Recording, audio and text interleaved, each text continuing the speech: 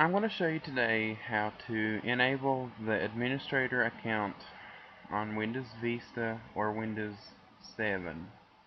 Just click Start and in the search box type in COM and then you want to go to Command Prompt. But you don't want to open it right away. Right click it and put Run as Administrator. When this box pops up, put Continue. Now for here, you want to put net user administrator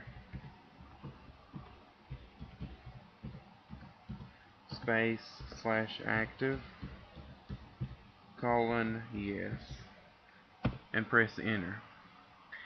Now if you want to disable the administrator account, just put net user administrator space slash active.